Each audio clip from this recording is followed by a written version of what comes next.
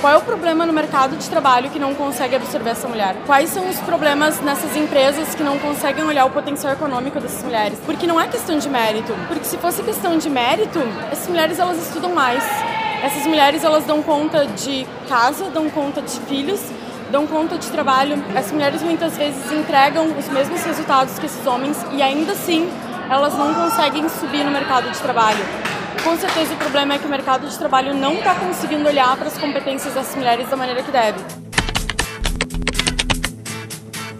Os dados mostram que recentemente o número de mulheres empreendendo tem aumentado muito. Do meu ponto de vista, esse aumento tem se dado à incapacidade das empresas de reter esses talentos femininos. Especificamente, as mulheres da geração Y são mulheres estão mais presentes nas universidades, elas são maioria no ensino superior, pós-graduação, mas ao mesmo tempo, quando elas entram nas empresas, elas não encontram suas necessidades atendidas. E esse descompasso entre as necessidades dessa mulher e os anseios dessa mulher em relação à sua vida profissional e o que essa empresa é capaz de oferecer tem feito com que essa mulher empreenda. Então, essas empresas elas estão perdendo esses talentos femininos e não são para outras empresas. Na verdade, são para as empresas que essas mulheres estão abrindo.